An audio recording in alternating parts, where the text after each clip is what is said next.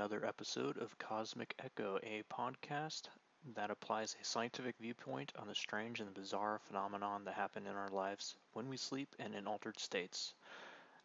In this episode, we speak with Steve Beyer, who is and the author of Singing to the Plants and has a PhD uh, in religious studies and in psychology. Uh, Steve is a very knowledgeable individual about uh, shamanism. So, without further ado, let's get to the interview. Today, we are joined with Stephen Beyer, the author of the fantastic Singing to the Plants. Stephen, thank you so much for joining us today. Oh, that's a great pleasure to be here with you.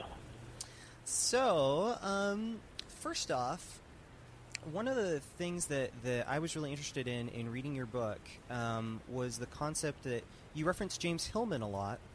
And um, could you talk a little bit about um, Hillman's um, concepts of soul making and perhaps magical realism and how that relates to Amazonian shamanism?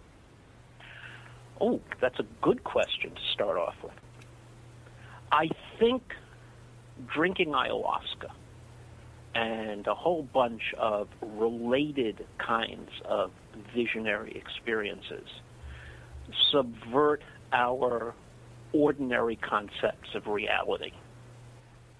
First of all, I think that we can't think about ayahuasca and its hallucinogenic properties outside the context of other kinds of similar experiences, such as lucid dreaming, hallucinations, uh, false awakenings, um, um, out of body experiences.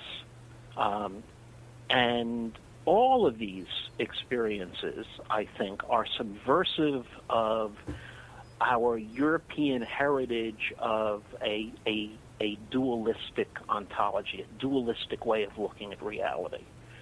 Um, we seem to think that we can take everything in the universe and put it into one of just two buckets. And one bucket is labeled real, and the other bucket is labeled not real. Um, but one of the things these experiences, um, I think, starts to teach us is that maybe there aren't just two buckets. maybe there are three buckets. And one of the things that is interesting about James Hillman and other people who have written on um, active imagination, the, the Jungian process of, of active imagination, is that they are pretty clear that there are three buckets. And one is named real, and one is named unreal, and the third one is named imaginal, which is different from just you know imagination because the writers on active imagination, especially James Hillman, are very clear that the imaginal is its own order of reality. So one of the things I like about James Hillman is that he is subversive, subversive of dualistic ontologies, and he talks about three buckets. But then you ask yourself, why just three? why not 20? Um, why have any buckets at all? And I think that the experiences you have with ayahuasca, as well as other kinds of experiences, but we'll talk about ayahuasca here, is that it tells you that right here, right now, present before you, are depths of meaning in reality that you were previously unaware of and that can affect your entire view of reality and your way of life. Um, I think that it's not that. A lot of people describe ayahuasca experiences probably because of the influence of, of earlier writers on shamanism like Mircea Eliade. They describe ayahuasca as traveling to a different dimension or traveling to a different place. I'm not sure that's the best possible description of ayahuasca. I think what ayahuasca does is to show you things that are here all the time and you just don't see them. I asked a, a, a shaman in the upper Amazon whether he could see the spirits all the time. And he gave a wonderful answer. He said, Yes, I see them all the time, but vaguely. Ayahuasca, he said, is like putting on glasses. And I think that's true. I think what ayahuasca teaches is that right here, right now, the room that you are sitting in or I am sitting in is covered with beautiful, um, intricate tiles in brilliant colors. That the spirits are here around us right now. That the plants are singing to us right now, but we just don't hear them. Wow. And so that's why I like James Hillman. Of, of all of the psychologists that I have read, he is most explicit in challenging um, dualistic European ontologies, and he is most explicit in in talking about um, present, um, deeper realms of meaning in our current experiences. Um, let me give you an example. See, you wound me up with that question. Well, I'm glad. I was I was curious. Um, let me give you an example. Let's say that you dream that you're walking along the street and you trip over a rock. And after you trip, you look up and there's a child smiling at you holding a flower. Okay. And you wake up from that dream and you say, wow, that was interesting. I wonder what that means. And you start trying to understand what that dream means. And there are all kinds of techniques you can use to try to understand what that dream means. You might, for example, go back into the dream and you might ask the rock, why did I trip over you? Uh, what do you want? Um, what will you teach me? Will you be my teacher? You might go back into the dream and speak to the child and say, Why did you smile? What do you want to teach me? You might go back into the dream and become the flower that the child is holding and say, Who am I? What am I doing here?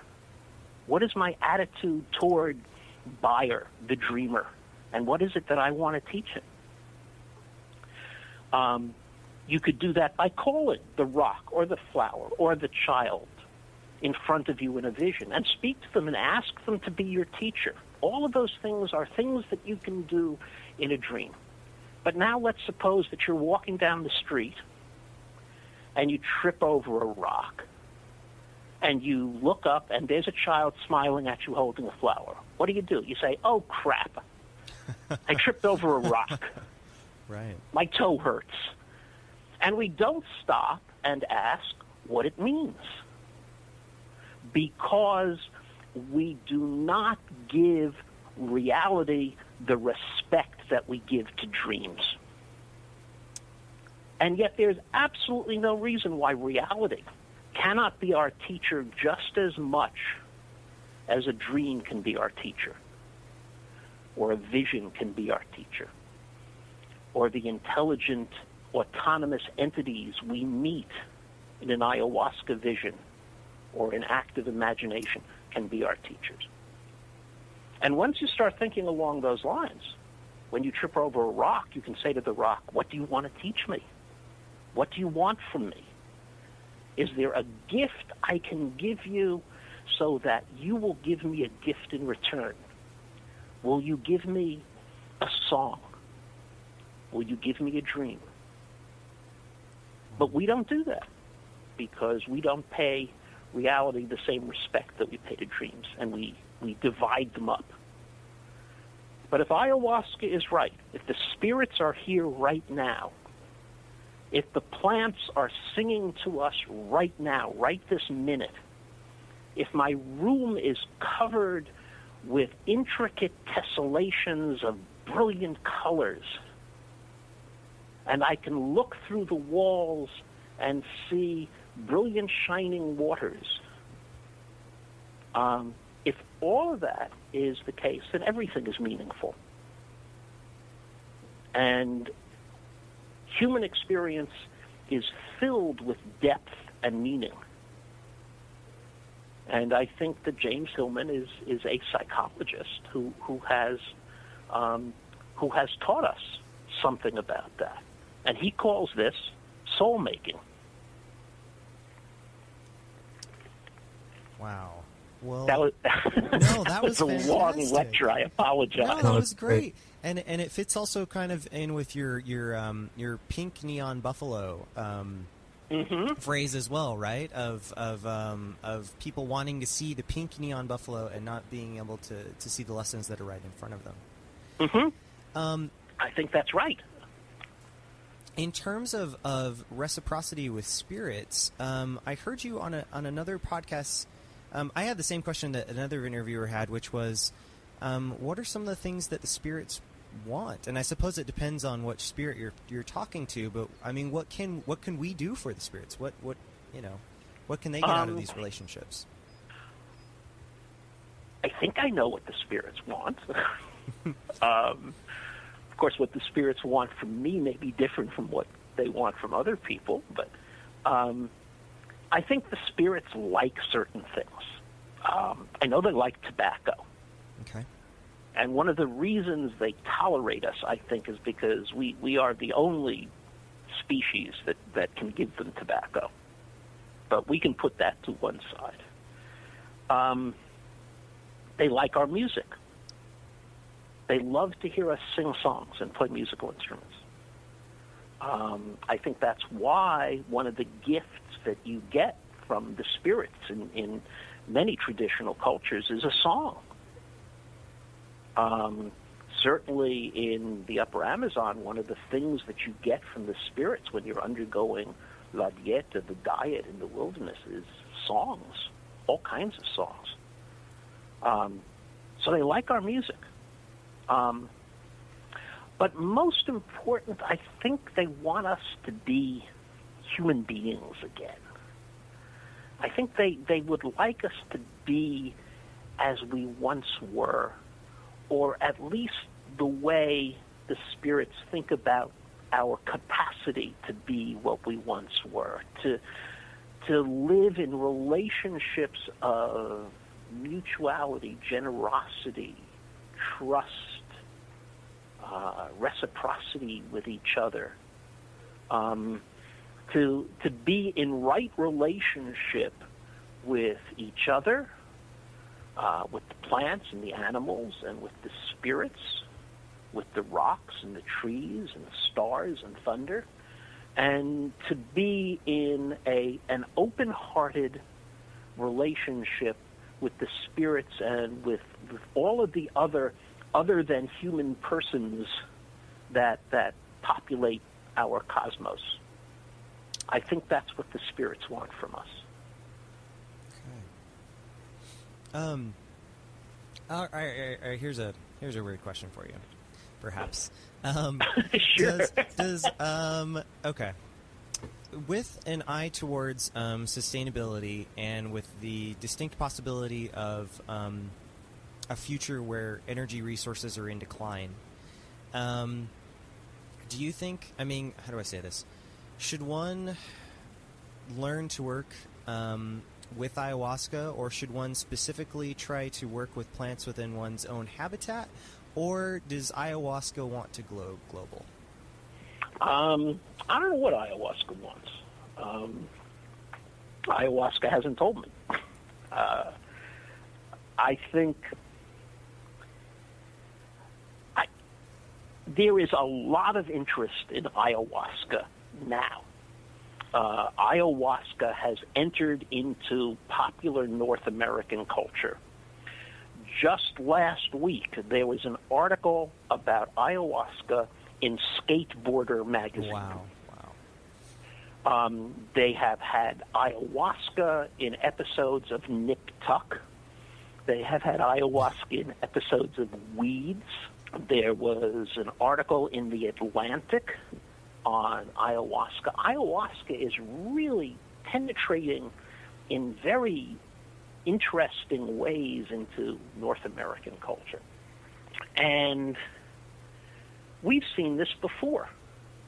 Uh, we forget that North Americans have very, very short attention spans. And I remember when I when LSD was going to change the world. And everybody would take LSD and we'd all have flowers in our hair and there would be no more war. And that didn't happen. I can go back further. I remember in the 50s when uh, Zen Buddhism was going to take over and uh, was was going to make peace and happiness occur everywhere. I remember in the 70s when there was a brief moment when Tibetan Buddhism was going to come and make everyone wear flowers in their hair or whatever. Americans have very short attention spans. And every time something new comes that is considered to be edgy and transgressive, it becomes very, very popular for a very short period of time. So I am not persuaded that ayahuasca is going to have anything more than a very short lived presence in North American consciousness. Okay.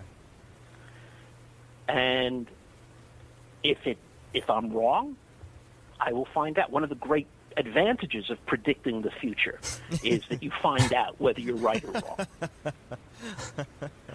Already, ayahuasca is is starting to be edged out a little bit by iboga and ibogaine. I think that as ayahuasca enters the American mainstream as a trope for the the edgy, transgressive hallucinogen of the month, it will become less interesting and something more exotic, like like African iboga is is going to occupy American consciousness for a while.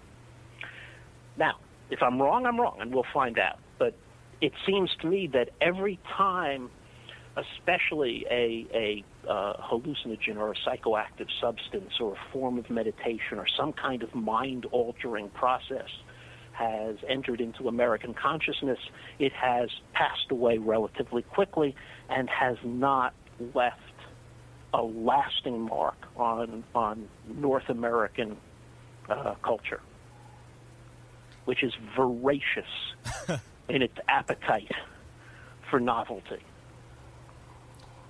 Do you, speaking of of, um, of Buddhism, I mean, do you see any correspondences, or have you seen any um, similarities between particular, maybe even esoteric Buddhist practices and uh, shamanism along the Upper Amazon? Remember, I, I, I mentioned a whole bunch of, of what I have come to call visionary experiences as having many features in in common. We we talked uh, a little bit about the kinds of experiences that I think are very similar in in important ways to ayahuasca experiences, and I've started to call these visionary experiences. And uh, these include things not only like ayahuasca experiences, but hallucinations, lucid dreams, DMT journeys, out of body experiences, false awakenings, apparitions, and active imagination, the Jungian process that we talked about a little bit earlier in relationship to James Hillman. And I think that these visionary experiences have a lot of things in common. When you have one of these experiences, a, a DMT hallucination or an ayahuasca experience or a lucid dream or an out of body experience, what you are experiencing seems to be a, a present perception of an external reality. It seems real. It's present um, in a very perceptually forceful way. Let me let me take a step back, and I'll tell you another story if that's okay. Absolutely. Westerners are often very upset that they don't have great visionary experiences the first time they drink ayahuasca, just as people who go on vision quests are often very upset that they don't see the pink neon buffalo coming over the horizon. But it, it can and, and usually does take a number of sessions of drinking ayahuasca before anything really happens other than being really, really sick. And I had I had been drinking ayahuasca with uh, a shaman named Don Antonio Barrera, and nothing much had been happening, and I was just really sick and miserable, and I was sitting with my head down, and suddenly I felt somebody rubbing my head. And I thought to myself, oh, isn't that nice? Don Antonio has gotten up and he sees how sick and miserable I am, and he's he's rubbing my head. And isn't that nice of him? And I look up, and standing in front of me is this beautiful teenaged Amazonian girl. She must have been about 16 years old. And she had the, the really long, straight, dark, shiny hair and wearing a, a t-shirt and blue shorts. And she had the most wonderful smile that I have ever seen. And she was standing there in a pool of light.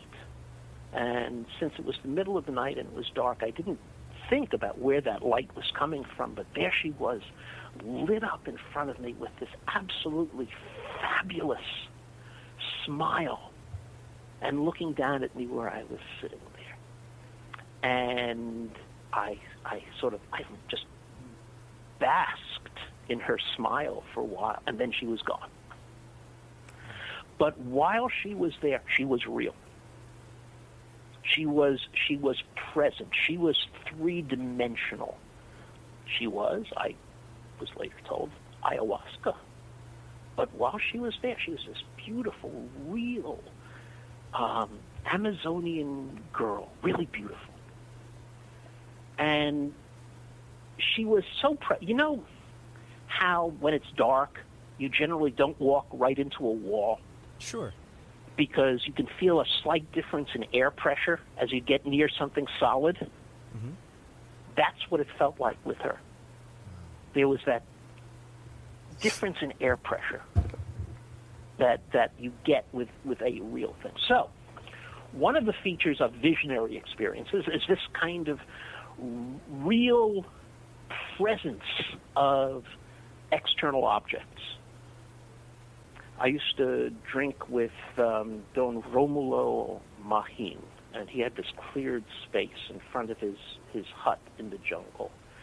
And one of the ways I knew that the ayahuasca was taking hold was that there were suddenly cast iron lawn chairs and tables all around in this open clearing space.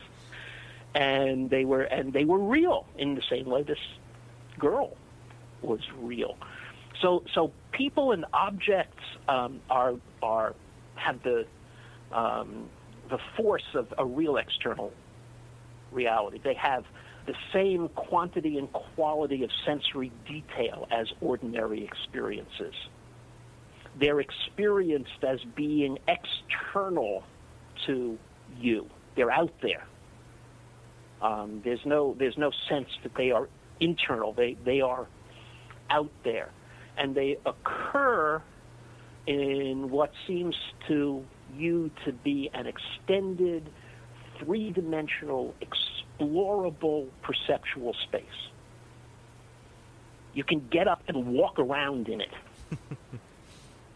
you you can and then what many of these have in common is that they frequently involve interactions with apparently autonomous others other than human persons spirits to uh, um, the artist Elvis Luna, a uh, an Amazonian artist. They can appear. They can be angels. To um, Pablo Amaringo, they are frequently pictured as visitors from other galaxies as well as spirits. But there are apparently autonomous, other than human persons with whom you can interact.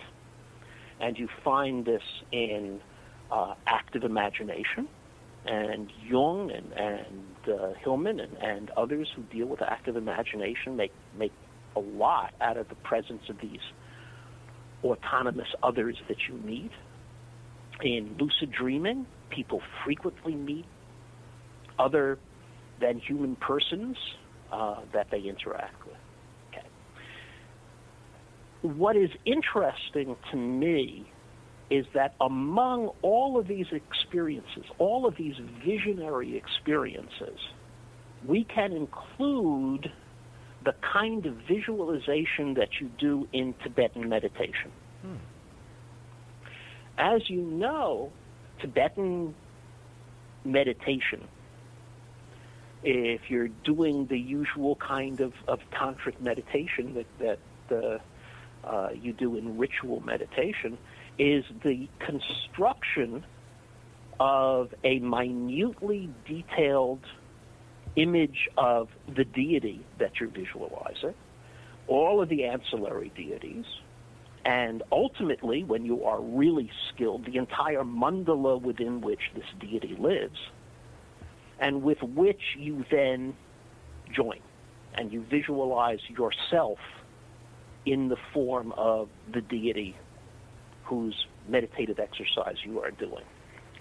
It seems to me that there are significant similarities between um, this kind of Tibetan eidetic visualization and visionary experiences. So when you ask about Buddhist meditation, the one that occurs to me almost immediately is Tibetan eidetic visualization. The visualization of the deity is part of Tibetan ritual meditation, whether you're visualizing the deity in front of you or you are visualizing yourself as the deity. It has exactly the same features as a, a visionary experience of the kind I've been talking about. Well, thank you. Hey, um, Instigator One, did you have a question you wanted to get in there? Yeah, I had a question. Um, the last couple, or the last page, I guess, of your book, it mentions that the the shamans have a lot of patients um, especially from the west that are coming over um, to use their plants, but they're they're having a lack a lack of apprentice. I yes, I think that's right. Yeah, and um, I guess my question is is you know a lot of people don't have thousands of dollars to to fly to Peru, and I'm you know I was looking online recently and seeing how expensive uh, some of those um, sessions can be now since the uh, since it's become you know a widespread um, thing through the West. Um, how can Western people learn to be, you know, a possible shaman and help people heal in the West when, uh, you know, they're not able to actually be apprenticeship over there? How do people learn how to heal? There, there are more ways to heal than simply being a shaman.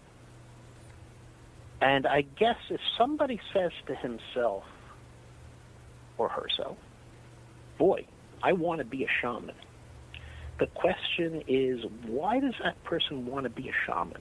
Now, I, I really have very little to say about this because I'm not a shaman. I have met real shamans.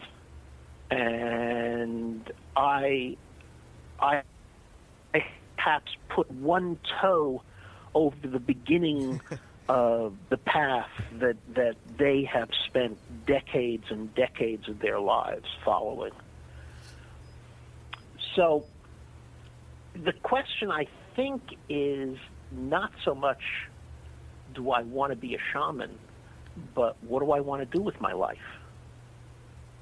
And if what you want to be is a healer, then there are all kinds of ways you can heal without being a shaman.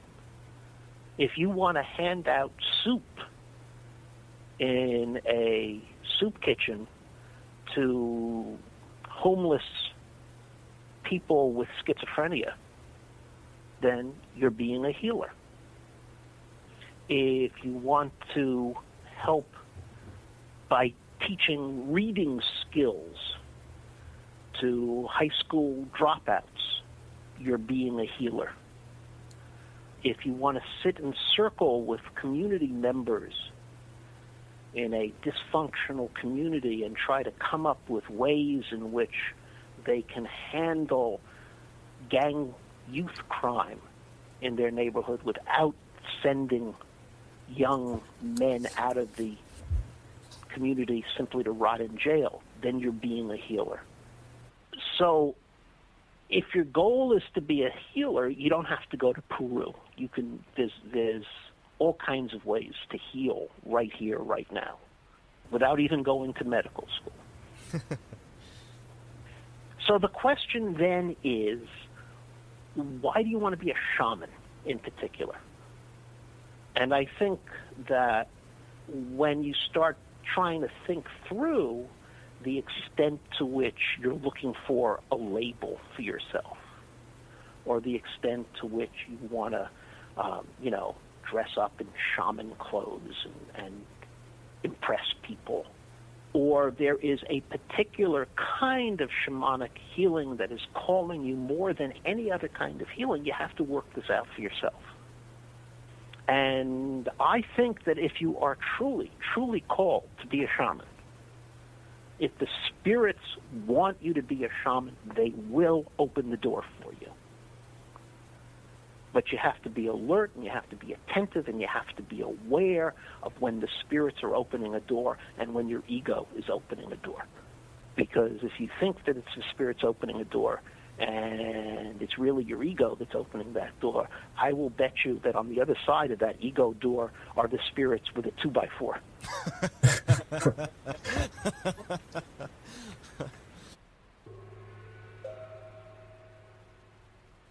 At websites such as um, ayahuasca.com, um, new and innovative methods for kind of almost creating a purge-free ayahuasca um, are being developed. So I think one of the um, one of the more popular ones would be uh, the egg fining technique. So that takes the tannins out of um, out of the caapi and and definitely seriously reduces the nausea.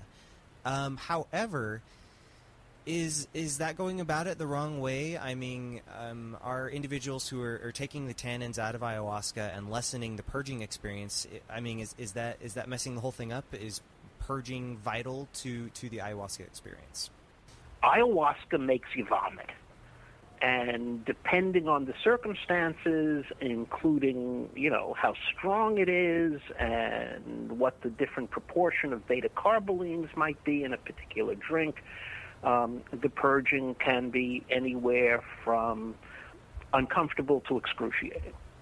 And not only does it make you vomit, it gives you diarrhea and people have more or less diarrhea. It is an emetic and it is a purgative. It's an emetic because it makes you throw up. It's a purgative because it gives you diarrhea. In its cultural context in the upper Amazon, uh, the emetic and purgative effects are considered to be very important and are part of the, the process by which ayahuasca is supposed to is supposed to produce its effects. As a matter of fact, in the upper Amazon, vomiting is much more common and much more socially acceptable than it is here. As a matter of fact, parents in the upper Amazon uh, routinely give their children various kinds of emetics to make them vomit in order to, to get rid of uh, intestinal parasites. Whether that works or not, I don't know, but there are all kinds of medicines in the upper Amazon that people take routinely in order to vomit. So vomiting does not have the social stigma that it has in, say, North America, where vomiting is considered to be shameful and humiliating, and you go in the bathroom and you lock the door, and if somebody knocks on the door, you say, go away, go away, leave me alone. And as a matter of fact, one of the things that happens is that Westerners who go down to the Amazon and drink ayahuasca resist vomiting. And so you get these horrid retching sounds as people try to kind of strangle the vomit from from coming out. And um, I will admit that that I have been that way myself because I went in there and considered uh, vomiting to be shameful. And I sometimes I would be making tape recordings of uh, the shamans singing, and in the background you hear these awful, awful noises, and that's me. but as a matter of fact, when you're sitting in ceremony with indigenous or mestizo people, they vomit, but they, they, they just vomit. There, there's not all this social stigma and, and attempts at not vomiting involved. They just vomit.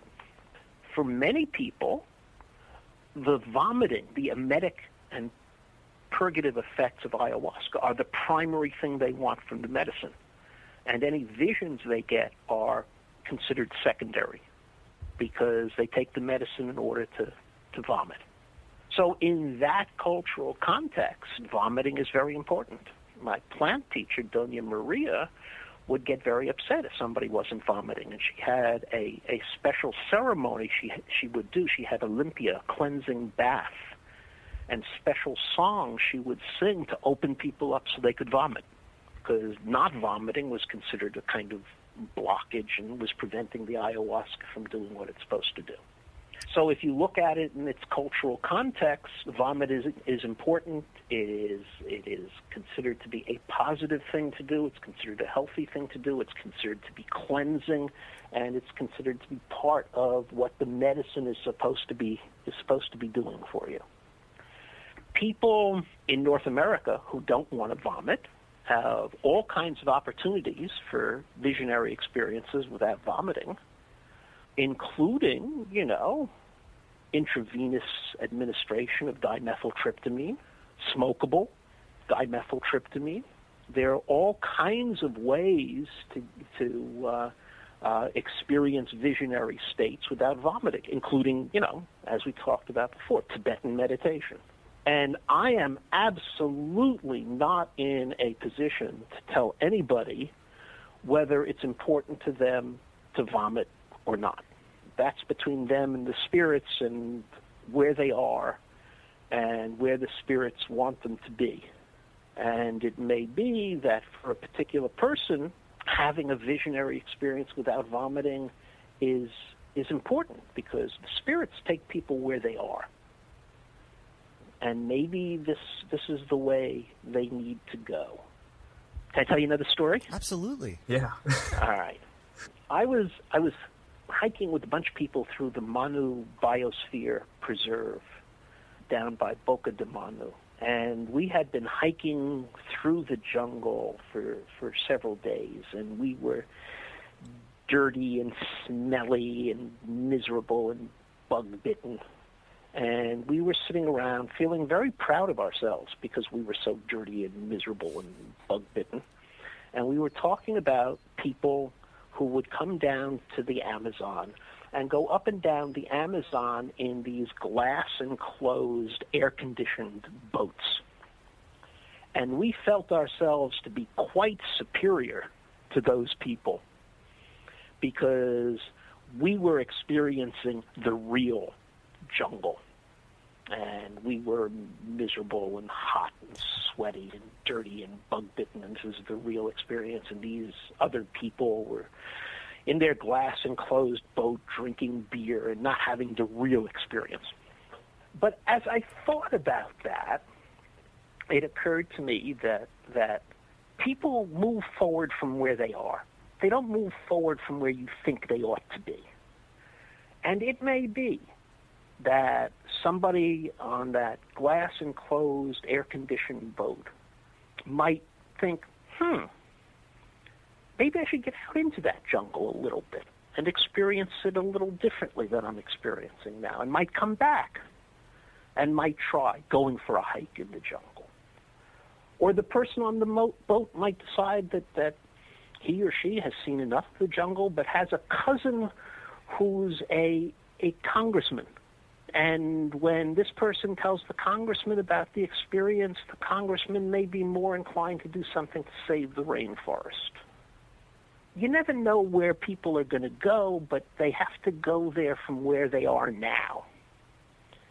And therefore, I am never, absolutely never in a position to tell people what their spiritual path ought to be. Just as I was not really, apart from ego, in a position to tell the people in the glass enclosed air conditioned boat that they were doing doing it wrong. They weren't seeing the real jungle. And so I can't prescribe whether somebody else ought to be vomiting or not. For me personally, my interest has has always been in states of consciousness in, in the context of indigenous ceremonial practices. That's what I'm interested in. But that doesn't mean anybody else should be interested in that. So I am no and I am no more able to prescribe for other people what their experiences ought to be or to say that one experience is better than another or more authentic or higher or lower than any other experience. Once again, you just have to engage in a in an honest dialogue with the spirits and be honest about what it is you want. And if you're looking for a quick and easy, undemanding kind of experience because that's where you are, then if the spirits spirits think that's what you need, that's what they'll give you. And who knows where you will go from there. Thank you very much. Uh, Instigator One, you, you had uh, something you wanted to ask?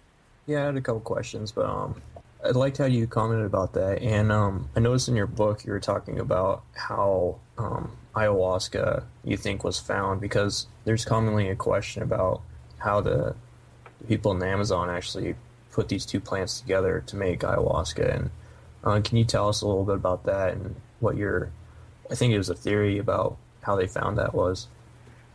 I think there have been a lot of theories about how they came up with the combination of the uh, the ayahuasca vine and the the various plants that contain dimethyltryptamine in the jungle environment.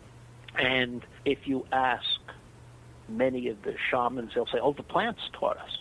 If you ask other people, they will they will invoke some kind of a mystical, indigenous understanding of, of jungle plants.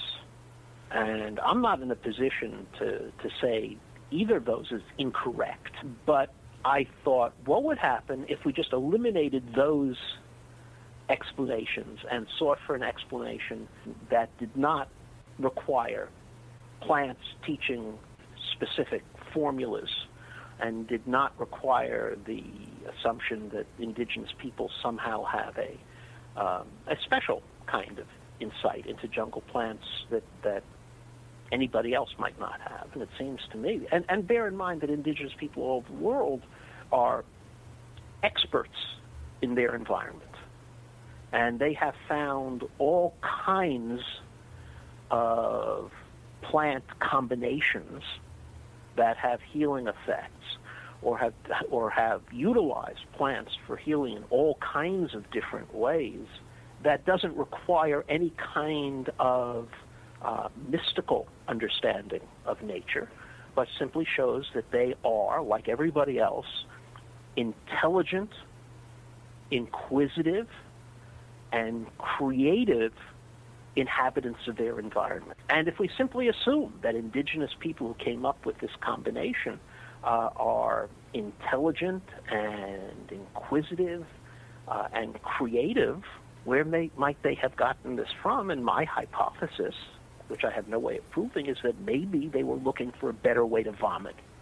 Because uh, certainly the ayahuasca vine by itself can make you vomit. And certainly there are plants that are closely related to um, chacruna. There are other species of the Psychotria genus that have emetic properties. And so it may be that they they combined various plants looking either for a way to enhance the emetic effects of the ayahuasca vine or to modulate the emetic effects of the ayahuasca vine. And they came upon this combination, which not only had whatever emetic effects they might be looking for, but also gave uh, visionary experiences. So that's a hypothesis. I don't know how I would prove it or disprove it. And I, don't want to. I don't want to be understood as somehow uh, putting down indigenous people because it's that is certainly not either my intention. I don't think it's what I'm saying. I'm saying that human beings everywhere are amazingly creative. And one of the reasons why human beings have become so expert in their own environments is because they experiment, they try things out, they use scientific reasoning processes in order to understand their, their own environment, and they do this over a long period of time. And I don't think it takes anything away from uh, the intelligence or the creativity or the curiosity of indigenous people to say that, that they learn these things the way everybody else learns them by trying new things, seeing how they work, and uh, adopting things that work and eliminating things that don't work. And in, in speaking about um, the indigenous people of the Amazon, I'm so sorry that we didn't get around earlier um, to Dona Maria and Don Roberto. Um, can you tell us a little bit about your teachers? Ah, I loved Dona Maria. It was it was such a shame that she died. She was such a wonderful woman, and one of the one of the greatest compliments that I got paid about uh, singing to the plants was when somebody said to me that the book really brought Dona Maria alive, that it really communicated something of her of her personality and her spirit. She was she was an absolutely wonderful woman. She um, taking a walk in the jungle with her was like walking with an encyclopedia. She knew every plant, and we would walk down the uh, a path in the jungle, and she would say, "Now here is this plant, and this is its name, and this is what you use it for, and this is how it's prepared."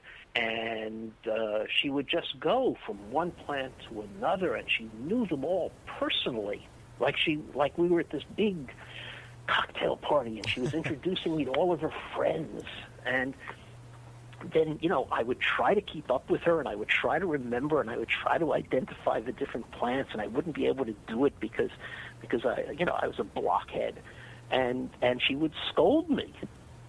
And she would say you know we have all this medicine here and you have to learn this she was she was wonderful she was the kind of of woman if she was sitting in a room with a bunch of other people and a child walked into the room, the child would automatically go stand by her.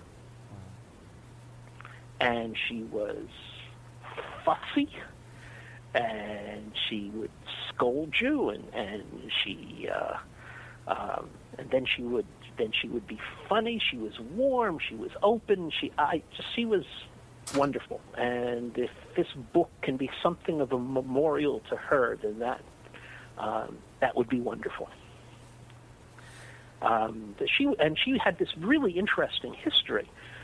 She had begun as an oracionista, as a as a prayer healer, and she started having visions of the um, the Virgin Mary when she was seven years old, and the Virgin Mary would appear to her in dreams and teach her the the plants and what they they uh, would heal.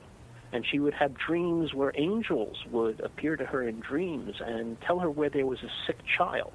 And she would then go to that child's house and offer to help the, the child with her plant medicines.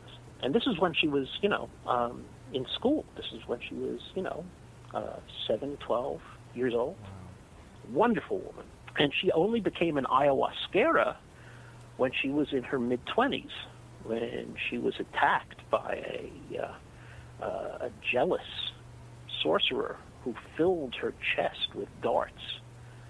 And she went and uh, she was suffering, and uh, she was she could find nobody who could help her. And one of her friends said, "Why don't you go see Don Roberto, who lived in the same town they lived in?"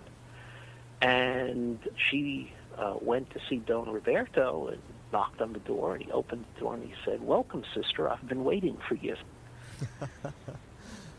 And so she became Don Roberto's apprentice for a number of years and continued to work with him off and on uh, for the rest of her life. There were a lot more elements of folk Catholicism in her practice.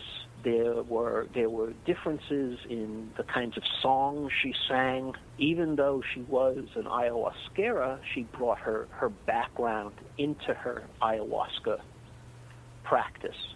And I think apart from the fact that she she as an individual was was fascinating. It shows, I think, the diversity of shamanic practice in the Upper Amazon. There's no one way it's done. And she's an example of the kind of eclectic and syncretic currents that move in Upper Amazonian shamanism. Don Roberto was much closer, I think, in his practice to indigenous Upper Amazonian practice. They were both mestizos, and uh, much of what he did was was less eclectic and syncretic and innovative than the practice that Dona Maria had. He was how can I describe this? Um, he was um, Dona Maria was was very willing to talk to you. Don, uh, Don Roberto was much much quieter, a much more internal kind of person it took a long time for him to to teach me many of the things that he eventually taught me. Okay. A much more reserved person than Dona Maria was. Although I consider him to be my maestro ayahuasquero, and I consider Dona Maria to be my plant teacher. well, she um, sounded absolute. Both of them sounded absolutely amazing, um, and I do believe that your book really does do them justice. Yeah, definitely. Well, thank you. That's very nice of you to say. I guess a question that I have um, after reading your book and other books is, um, you know, what about the experiences that are in your head that um, you have from the, an ayahuasca session? You know, is it all spirits? Is it all in your head, or is it something else? And I just wanted to hear your opinion on that. Obviously, you know, you have views of the there's spirits out there, and but what about um, experiences in your own psyche and things like that? Can you give me an example of what you're talking about? Um, well, Let me better understand. Say you're you're having a conversation with somebody in or a spirit in your um, in your experience.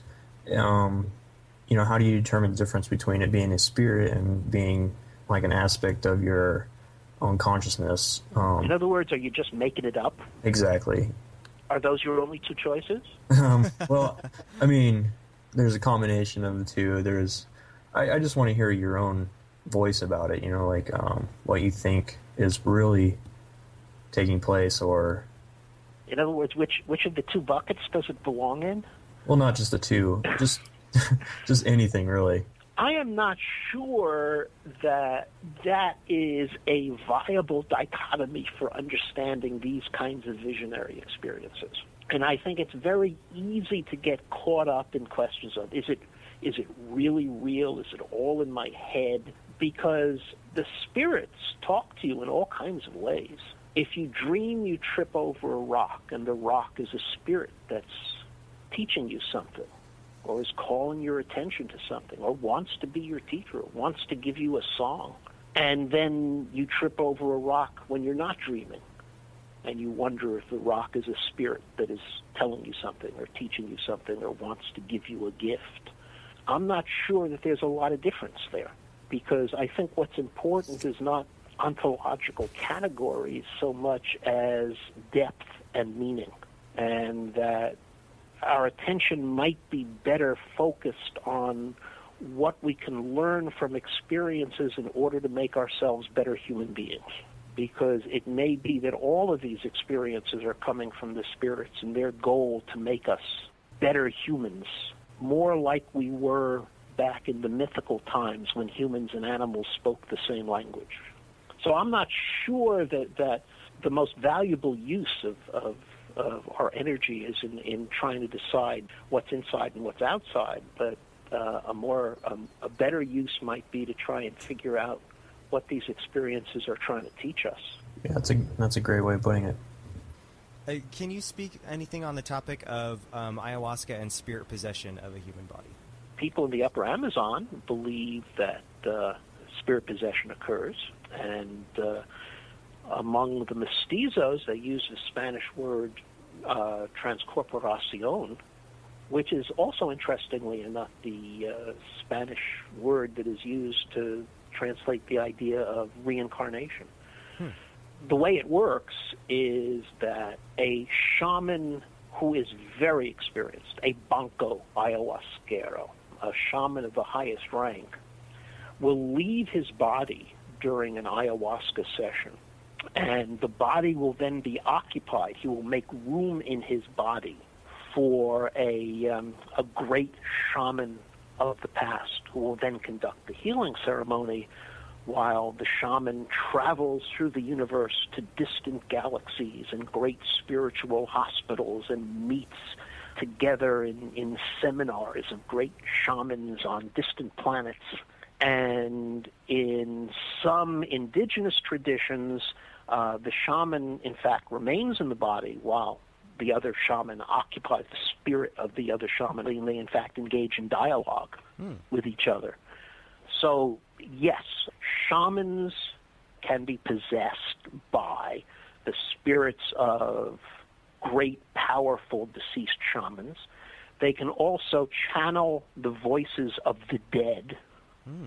where for example, someone has gone out fishing in his boat and has never returned, and anxious relatives seek out a shaman of this rank who then goes under his mosquito net and channels the voice of this person who says, Don't worry about me. I am in the land of the mermaids, and I am healthy and happy, and I will live here forever with these beautiful women. So, yes, there's a lot of that going on and it's found in in many Upper Amazonian indigenous traditions. And the mestizo shamans have taken over this notion of speaking with the voices of the dead or being possessed by the spirits of powerful deceased shamans while they go traveling through the galaxy. Stephen, I just want to say that you know, like, pretty much we've been trying to figure out this whole thing ourselves, and we've always had questions, and you know, and we go around in circles pretty much with their answers to our questions about, you know, like the question I asked about if it being in your head or not and stuff like that.